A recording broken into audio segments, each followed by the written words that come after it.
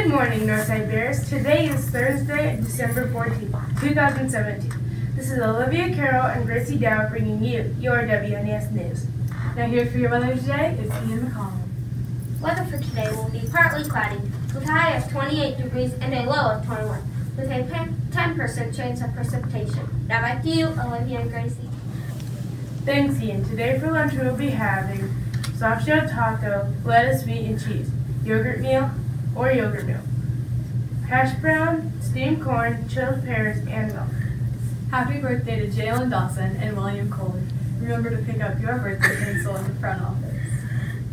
Northside Bowling Night will be January 17th from 6 to 8 p.m. at Northside Lanes. This is a student-only event. Turn in your form and money as soon as possible. Space is limited. Today for cycling will be the fourth grade hallway.